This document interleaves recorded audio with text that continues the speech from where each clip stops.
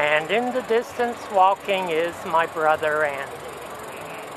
He's in the white shirt